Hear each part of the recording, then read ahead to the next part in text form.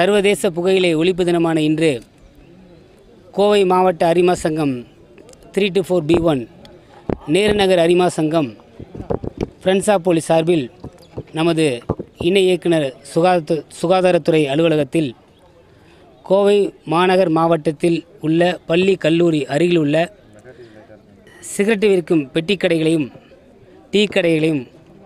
சிகரெட்டை பற்றி பெரிதாக விளம்பரப்படுத்தி கொண்டிருக்கும்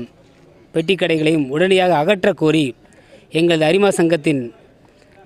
தலைவர்கள் காளியப்பன் அவர்களும் லாலா ஜி முத்துராஜ் அவர்கள் தலைமையிலும் இந்த கோரிக்கை மணியை அளித்துள்ளோம். ஃப்ரெண்ட்ஸ் ஆஃப் போலீஸ் சார்பில் செந்தில்குமார்.